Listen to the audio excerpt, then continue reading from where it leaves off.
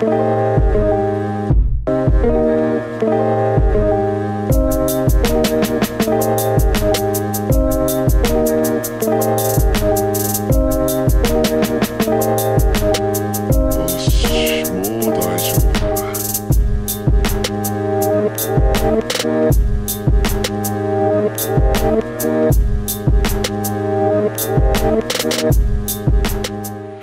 and welcome to the first Draconathon reading vlog. Okay, so I've had a pretty, actually really productive morning. We've had a live show. I worked out with Sarah from Novel Serendipity. It was a really great start to the morning. Thank you all who attended and thank you all for being here if you've decided to watch this vlog. If you don't know what Draconathon is, uh, you've really been tuning out or you are new to my channel, which is perfectly fine either way. I really can't blame you either way. However, this is going to be a week-long vlog and we are starting on August 1st and going until whenever the next Friday is. I don't have a calendar to be perfectly honest and I am just using this beautiful day to get started on some books that I'm going to be reading for Draconathon. I am getting two very large books started so that I am able to finish them by the end of the month. So first off, I will be reading physically The Rage of Dragons by Evan Winter. I'm also going to be trying to annotate Rage of Dragons. I'm not annotating any other books because annotating definitely slows me down, but I want to get this book annotated because we have a live show at the end and it'll help me, I think, like remember some of my thoughts going through as I read. This is our group book for Draconathon. I need to make sure that this gets finished and I'm just really excited about it, so it was an easy one to start first. I think that this is going to be primarily what I'm reading throughout the month, regardless of the other books on my TBR. Expect to see this gorgeous cover quite a bit in these vlogs. While I do have books physically, I do have a lot audibly as well, so I will also be throwing on my Bartholomew Orwells and getting some audiobook listening done. Uh, first up, one of the largest audiobooks I have is Uprooted, which is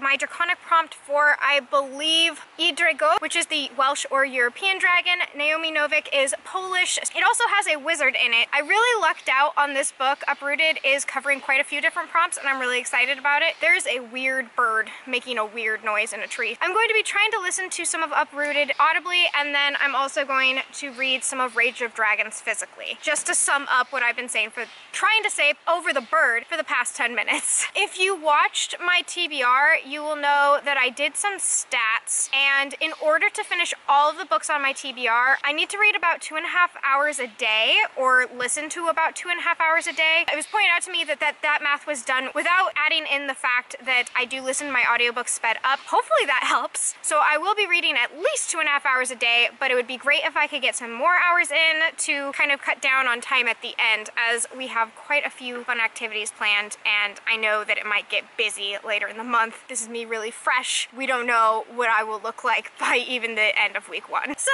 without any more further introduction, let's get started because I just really, really want to get started and we're gonna start with some Rage of Dragons. All right, let's get going.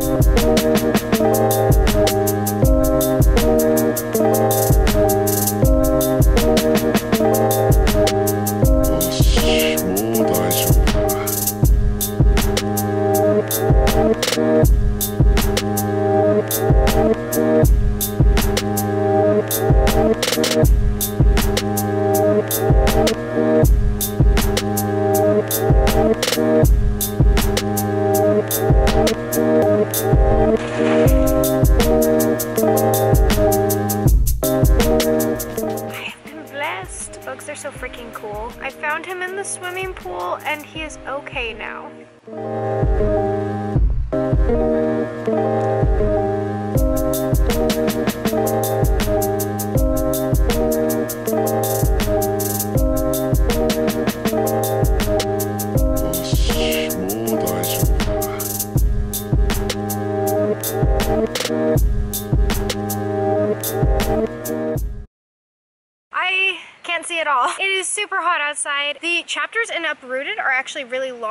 Like 30 minutes. It felt like I got so much more done in Rage of Dragons, but I actually only got about like 15 so many pages in. Uh, I really liked the beginning, like the entire tone starts off really strong. So far, so good on Rage of Dragons. Very strong start. And then Uprooted is really interesting and very, very different. For being two dragon books, very different. It's funny because if I'm just sitting there listening to an audiobook, it's really relaxing to lay out in the sun, but if I'm like talking and interacting, I felt like I was getting overheated. I also couldn't see. But yeah, Uprooted started and it, it had like almost a really like fast start. I felt like a lot of things were happening right off the bat as far as getting the story going. And I also think it is a Beauty and the Beast retelling. I am not a huge fan of the dragons so far. I'm sure that there is character development. I'd rather start disliking a character and then have that slow build up arc than just like a character right off the bat. Not a strong start for the dragon. Agnieszka, I think, is how it was pronounced in the audiobook. Her friendship, like she has a very close friend. I just, I love that kind of dynamic. It feels like a sister dynamic. It's one of my favorite things. So yeah, I'm really excited about both of these. I need to definitely read more, but I am gonna hop in the pool for a little bit longer and then then I'll catch up with you guys later. Okay, I am inside for now and I actually am going to be getting some ingredients that I need to pick up from the store because fire flakes are happening this week and I was just looking at my different things that I had in my cupboards and I don't have nearly enough of the things that I wanted in order to experiment with the fire flakes. So I really want to try out sunflower seeds, the pitted sunflower seeds. I think that they would really kind of match as far as them being like little flakes. I have haven't seen that recipe before and I'm thinking like sunflower, the sun, fire. I, as far as like avatar things go, it makes sense to me. So I really want to try sunflower seeds as one of my different concoctions for recipes. And then I also have seen a lot of people using bran flakes, like cereal flakes, but the only ones I have are like frosted flakes. I feel like that would taste really weird with the spicy. So in fact, I like know it'll taste weird. If you have tried it and you tried it with the Frosted Flakes, let me know if it tasted good because my gut reaction was no thank you. I guess I was just letting you know that I was getting ingredients and that I am no longer out by the pool.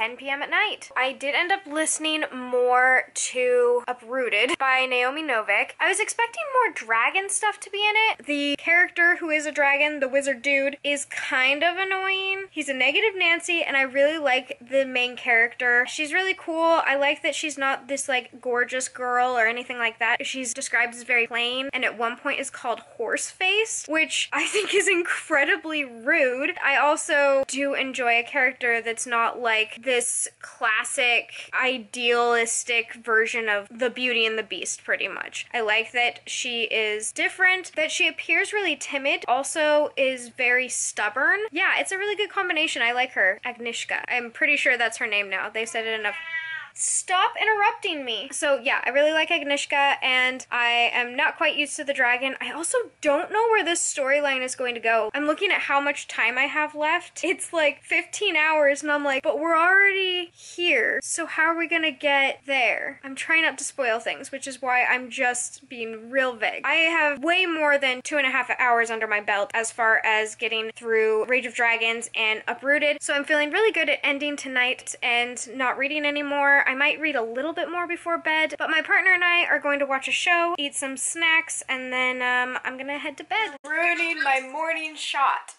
Shot? Yeah, look. There she is. Oh. Lord. I'm trying to do one of those things where it like it fades to black and then it has me waking up and then I make coffee and here you are. I can't be aesthetic no matter what.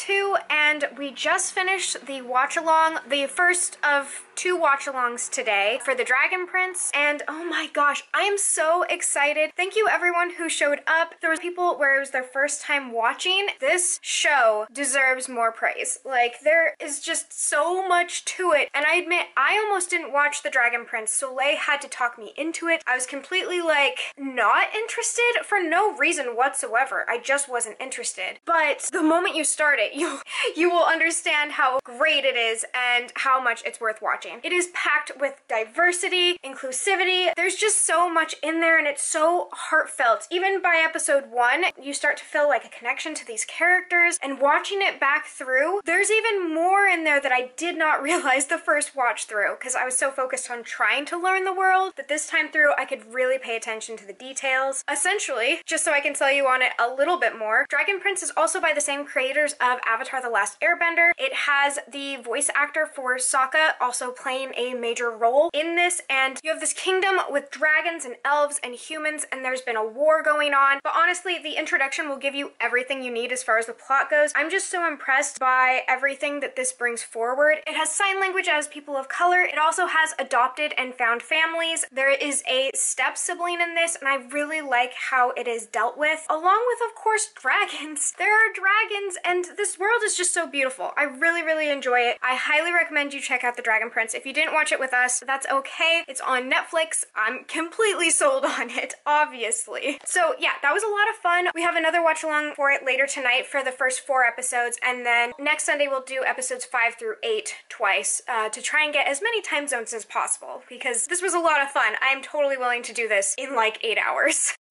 Um, so the next thing I have to do is, well, I need to clean my room and I need to finish a bit more of my laundry, but we're gonna do sprints later today on Twitter. So I did sprints last night on the Discord, and let me just say, I've never done sprints before. Not only have I never hosted sprints, I've never participated in sprints before. So I was incredibly nervous the entire time, and I, I mean, the people that joined, we seemed to have fun, but I am so nervous to do Twitter sprints because I just, I can see it going wrong. Well, I don't even know what could go wrong because I don't know how to do it right. So if you saw me doing sprints on Sunday, let me know if I suck or if I need to change things or if I'm missing something crucial, important, because I've only just seen it done as like a third party witness. I've never participated or done it before. Let me know so that I can fix it week one. Do not let me know at the end. That will be embarrassing. If I've got food on my face, tell me now. Speaking of food, because I'm doing so much around the house, I'm going to be ordering delivery today. I don't do it very often, but I'm feeling very treat yourself in this moment. I feel like I've gotten a lot done in the last few days and I'm just like, you know what? I deserve food. So I'm going to be looking at ordering something and then I'll probably check in after sprints to give you more of my thoughts on both Uprooted and Rage of Dragons. I think I'm gonna listen to more of Uprooted because I was reading some Rage of Dragons this morning. It was really good, very intense, and I can just see myself getting really wrapped up in the world and not giving enough time to Uprooted, which is my longest audiobook. Today will be very much so dedicated to Uprooted. Once I get at the 50% mark of Uprooted, I'll feel more calm, collected, reassured, and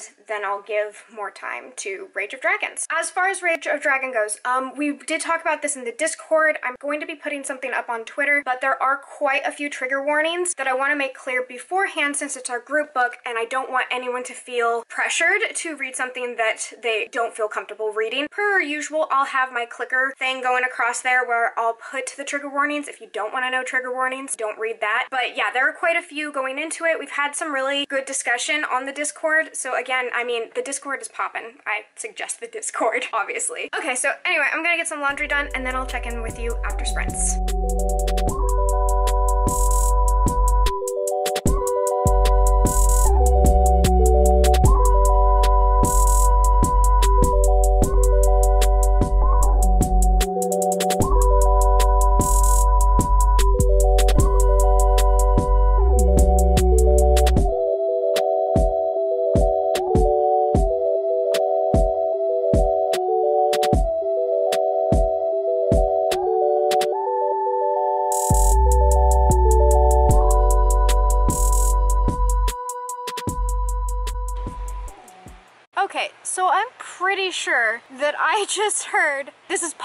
Minor spoiler, so if you would like to skip, I'll put a timestamp. So I've been listening to Uprooted and I just had a moment happen where there was an attempted rape and it was unsuccessful. However, the reactions of everyone involved was kind of a little ridiculous. The main love interest, I think, is what he is. I'm pretty sure just slut shamed her. She seemed, uh, of course, reasonably upset, but did not have much of a reaction. It was a very muted reaction. We're getting her internal thoughts because this is a first person's perspective, and I'm like, are you okay? Apart from being a slight amount of shaken, I have made it past that point, and I still haven't had any sort of reaction or anything done about it. It was a weird moment and I don't think it was challenged properly at all. This might come back later and it might bite me because I'll be like, oh, okay, here's the whole thing. But I'm, I'm just surprised at how that went down. And it was a little bit ago. I just, I kept on reflecting on it as I was reading. I was like, are we gonna talk about this? And no, not really. Nope. So we're going to be doing the second set of episodes one through four for the watch along for Dragon Prince. I've already talked about Dragon Prince enough today. I've been helping my mom move, so I don't know how much filming I'm gonna get in tomorrow, but my Fireflake stuff just arrived. I will be doing Fireflake soon, and I'm super pumped for that. Until I have another chance to update, that was day two.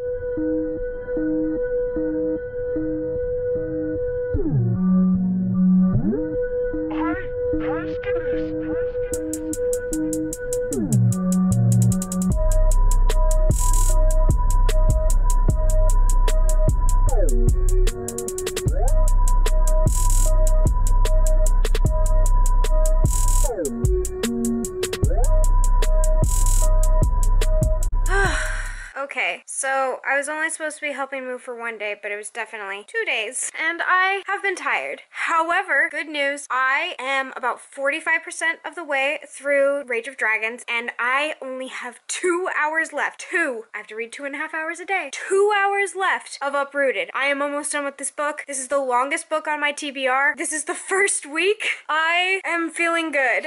I am feeling really good about it. I'm gonna do sprints later on. Some people are finishing like a lot of Dragon books. Some people are having a hard time reading books. Everyone's at different levels and it's all totally okay. I am just feeling really good because I'm usually not at this level. So yeah, I'm feeling really good about that. Uprooted, I of course just have the ending left. I can say there were a lot of things I really liked about this book. Gorgeously written, beautifully described, a lot of unique ideas. It definitely ramped off from Beauty and the Beast and turned into its own thing. It wasn't just like a classic retelling. There are just a couple things I don't like and it's mostly character related, unfortunately. And I am more of a character driven reader, which is why I say it's unfortunate, because there are a lot of really cool plot things. I ended up not being as connected to the main character, and I never ended up getting behind the love interest. That was kind of a problem for me. I guess there's still two hours left. They could change my mind, but it would be an active challenge. And then I want to edit a little bit so that I can have this posted on Friday. Also, going to be making fire flakes because the ingredients are in. So then I'm just going to relax and then host those sprints later.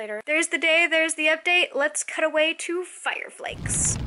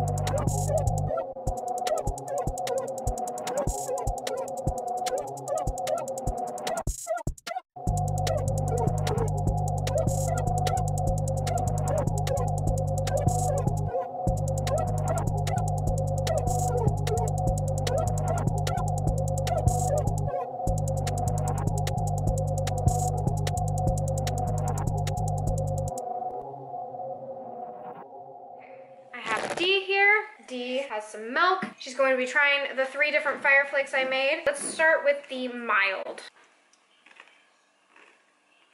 Tastes like corn nuts. Is that good or bad? Give it an out of five. It's a three. All right, three. Got it. Okay, this is the this is the medium. I don't want this. Oh well, it's the medium. Take a good chunk. That's spicier than this, Jade. Oh no! Well, you like you just took a little. cinnamon. You just took a little. Take more. Just like if you think that cinnamon's spicy. Okay, so I'll just change the labels on those. What is this out of five? The medium, which is now the mild. I'm gonna say three. It says it tastes like like a Taco Bell. the twist, the cinnamon twist crunchy thing. Okay. Interesting. All right, and then the extra spicy. These are the Fire Flakes, what I am actually basing off the Fire Nation.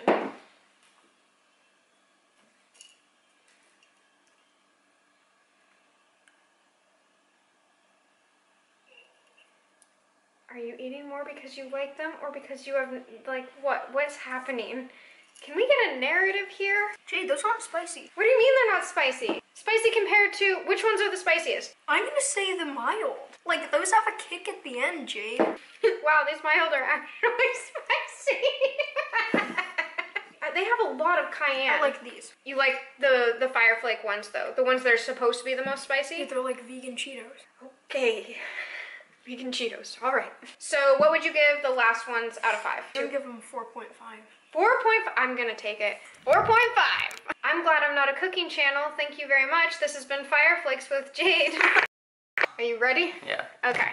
Here's the mild Fire Flakes. And you're rating these out of five, and Have you- some salty stuff. okay. Uh, what would you give it out of five? Three. Okay. Cool. Medium.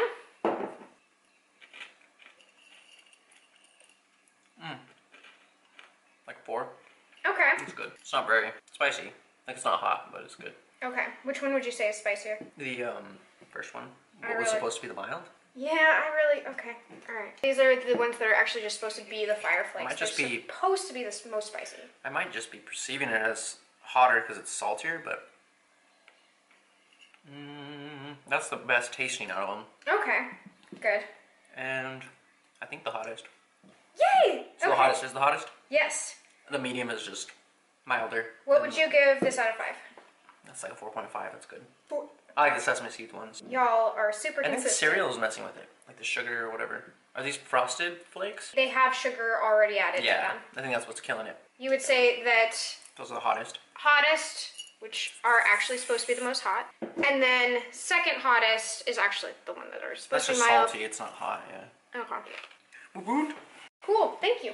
Okay, so I have successfully, in various degrees of success, created Fire Flakes. I'm actually really happy with these because I ended up trying them myself, and I do agree what I put as mild is definitely the medium, and what I put as medium is definitely the mild. However, I like them all in different ways. I'd maybe add a little less salt, maybe no salt at all. And the bran flakes ended up actually working much better than I thought they would. So I guess that is why they are so popular is because they do taste good and they don't really taste like bran flakes anymore. So I do enjoy them. Yeah, a pretty good conclusion to a week. I finished Uprooted by Naomi Novik. This was for the European Global Prompt or the Wizard Prompt. There were a lot of things I ended up really liking about Uprooted, but there were also things that I didn't like about it at all. I ended up really disliking the love interest. I never ended up getting behind it. The scenes, though, the love interest scenes, the scenes were really good. If I had more investment in those two characters actually working out, I would have been in love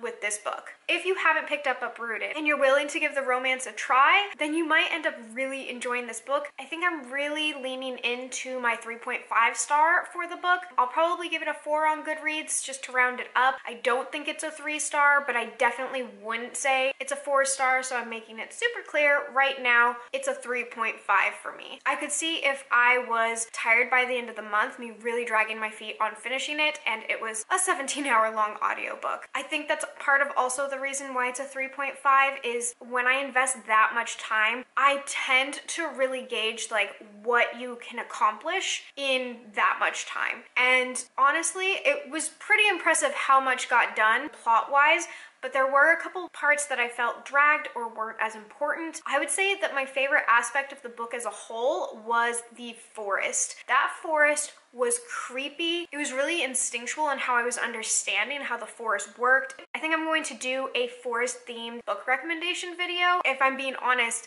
the inspiration behind that will definitely have to be uprooted. I am almost 50% of the way through, thank goodness for sprints, Rage of Dragons, and that is an amazing book. Rage of Dragons could possibly be a new favorite for me. I understand part of the reason why it was given some Game of Thrones vibes, but don't think of Game of Thrones as like the larger universe of Game of Thrones, but really focus in on Arya's story, and you'll see why some of those comparisons are being made. But it's very much so just its own thing. I really, when reading it, can't compare it to anything. I love the main character. I feel like he is a cinnamon roll that got wronged. Is very complex in the fact that he is growing up in a warrior-based society and he is by no means that way. You understand his character as you go along. I am always down for a good fight sequence and I've gotten several. So if you like fighting sequences and training academies and all that kind of stuff, you're really gonna like this book. It's good and you know what? I'm like, I'm in it for the revenge too. This is very much so an adult novel with lots of graphic violence and stuff like that, but wow. It is satisfying to read as an adult reading this book and being like,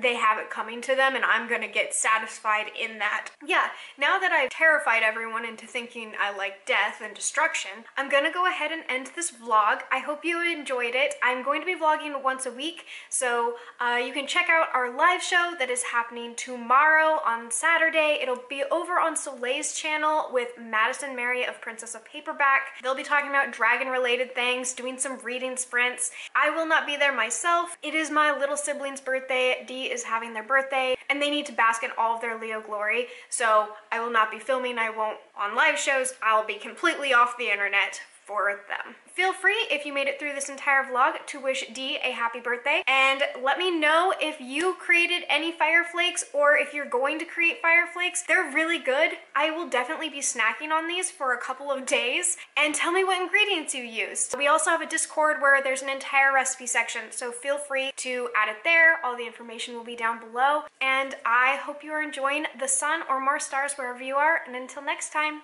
bye!